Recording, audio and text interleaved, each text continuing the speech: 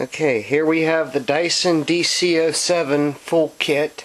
Um, this is a turquoise and metallic purple.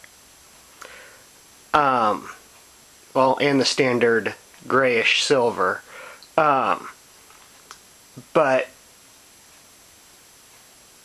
I've got it all put back together, all working. Um, one thing I'm going to mention about this vacuum is it probably does have the most suction out of all the vacuums that I have. Which is a good thing.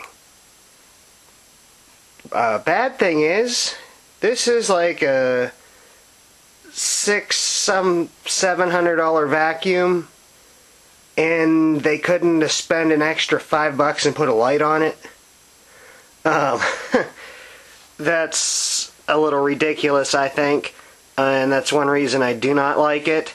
Um, the other thing is that it's plastic, and of course, it attracts all kind of dust and everything, and you have to sweep off the sweeper after you're done using it. Um, but the lack of light um, was one thing that kind of annoyed me with the rainbow that my parents have as well. It's a fairly expensive vacuum and they don't even have a light on the power head. Um, but anyway, I've got a little bit of cat litter mess here on the floor. Let's see what it'll do. Um, one thing to note is that I do not have the HEPA filter in it. It was pretty much completely clogged up. Um, so right now I just have it removed. It's the final post filter, so it's not. It really doesn't. If anything, it helps the performance. Um, but here we go.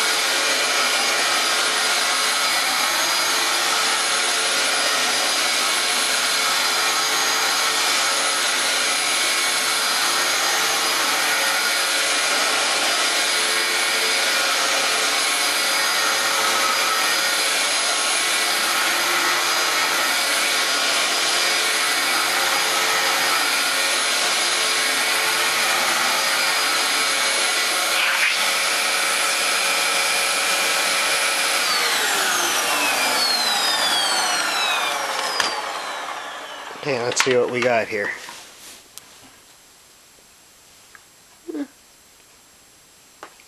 Uh, ooh, static shock.